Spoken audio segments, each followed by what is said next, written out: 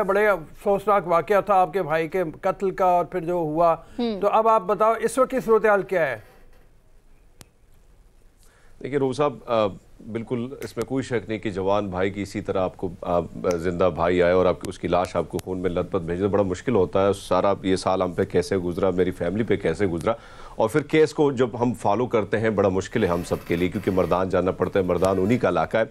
लेकिन कल जो खैब पब्लिक न्यूज़ पे ये खबर चली थी जब धमकियों का सिलसिला मुझे शुरू हुआ था मरदान सेंट्रल जेल से मुझे कॉल्स आ रही थी तो उसी पर पब्लिक न्यूज़ की खबर पर वजी अजम इमरान खान साहब ने नोटिस लिया और उसके बाद कल रात बारह बजे जो है शहबाज गिल साहब ने और आई जी खैबर जी खैबर पख्तूनख्वा ने और दीगर जो C C P O Peshawar D I G और दीगर जो लोग हैं वो काफ़ी मुतहरक नज़र आए और उन्होंने हम्म। कहा कि हम इन तमाम तर लोगों के ख़िलाफ़ ख़ासकर मरदान की जो सेंट्रल जेल है इसकी इंतज़ामिया के ख़िलाफ़ और जो मुलजमान हैं उनके ख़िलाफ़ भी हमारी हम भरपूर कोशिश करेंगे उनके ख़िलाफ़ कार्रवाई होगी और आपको इंसाफ जो है वो फराहम करेंगे बल्कि आपको प्रोटेक्शन आपकी फैमिली को भी प्रोटेक्शन दिया जाएगा तो मैं मुनीज़ रू साहब मैं आज मॉर्निंग शो के ज़रिए बल्कि मैं वजी अजम इमरान खान साहब के बहुत एहसान हैं हमारी सिख कम्यूनिटी पर जो हम हमारी नस्लें भी नहीं भूल सकेंगी क्योंकि हम्म। करतारपुर साहब को उन्होंने एक बहुत बड़ा गिफ्ट दिया हम्म। लेकिन इसके साथ साथ मैं उनका बेहद शुक्रिया अदा करूँगा कि उन्होंने मेरे जैसे काम जो साफ़ी है उसकी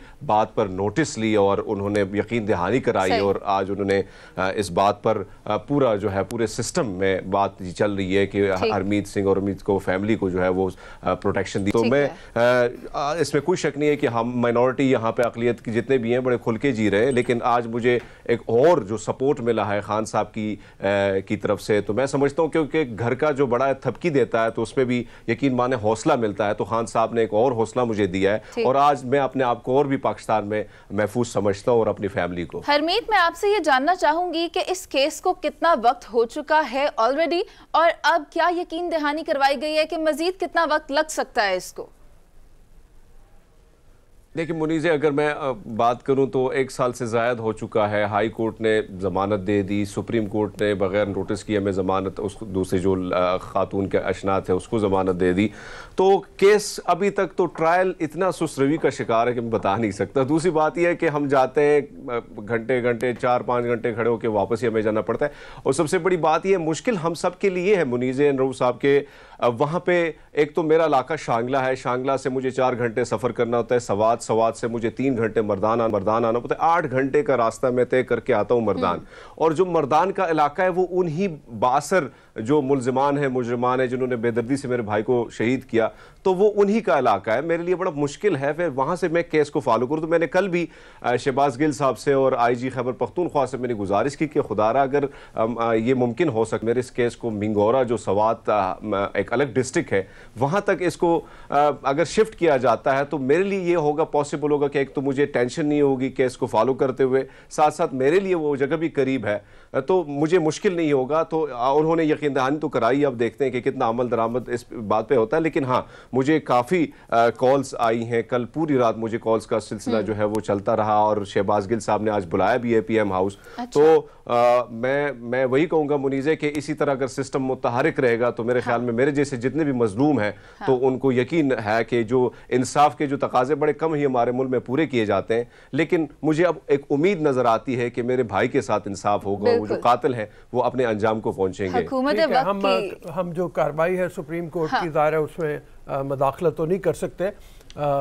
ना ही कोई ऐसी बात करना चाहते हैं कि जिसकी बुनियाद के ऊपर कोई तोहन अदालत की बात बने बिल्कुल मतलब ऐसे में जब हुकूमत वक्त ने सपोर्ट की बात की है तो ये वो हकीकी तब्दीली अब हम फील कर सकते हैं जिसका खान साहब ज़िक्र किया करते थे क्योंकि हरमीत को जिस तरह से कंसोल किया और अश्योर किया कि उसको इंसाफ मिलेगा तो यकीनी तौर पर जो माइनॉरिटीज़ हैं उनकी भी हौसला अफजाई हुई होगी कि अब वो जिस पाकिस्तान में है जिस तब्दीली की खान साहब बात करते थे वो वाला पाकिस्तान है ये। और यहाँ पर उनको उनके राइट्स मिलेंगे इंसाफ मिलेगा। पहले की तरह वो सफ़र नहीं करेंगे। बिल्कुल ठीक है। तो हरमीत बिल्कुल मुनीजे मैं वही कह जी जी जी। जी आप बताइए जी ज़रूर साहब कंटिन्यू करें सर ठीक है। मैंने वही कहा कि मैं वही कहता हूँ मुनीजे की बात मुझे बड़ी अच्छी लगी कि इसमें कोई शक नहीं कि खान साहब ने जैसे वो आए तो जितने भी बरादरियाँ हैं चाहे वो हिंदू हैं सिख हैं दूस दीगर जो क्रिश्चन हैं तो बड़ा हौसला दिया है उन्होंने। और आज अगर जिस तरह मेरे जैसे वाक़ात और लोगों के साथ भी होते हैं तो सिर्फ़ अकलीत नहीं बल्कि हम देखते हैं कि मेजोरिटी के हवाले से भी खान साहब नोटिस लेते हैं और बड़े एक्टिव हैं उनकी टीम काफ़ी एक्टिव है मामला में। तो मैं समझता हूँ कि आगे जाके हौसला तो पूरी कम्यूनिटी को मिलेगा जितनी भी हमारे सिख कम्युनिटी उनको तो मिलेगा ही मिलेगा। लेकिन जिस तरह मुनीजे ने कहा, दीगर अकलीतों को मिल, मिलेगा, क्योंकि इस चीज़ को, देखो, ये ज़ाती मसले होते हैं और ज़ाती मसलों को दीगर जो हमारे ममालिक हैं, वो जो हमारे खिलाफ, दुश्मन ममालिक हैं, वो प्रोपेगेंडा टाइप इस चीज़ को पेश करते हैं तो बड़ा क्योंकि अगर मैं अपनी बात करूँ तो मेरी कोशिश होती कि मैं सॉफ्ट इमेज के हवाले से, मैं दिन भर मेरी एक, मेरी ख्वाहिश है कि मैं अपने मुल्क के हवाले से जो प्रोपेगेंडे किए जाते हैं, मैं उस चीज़ को पूरी दुनिया को बताता चलूँ स्क्रीन के ज़रिए कि पाकिस्तान ऐसा नहीं है।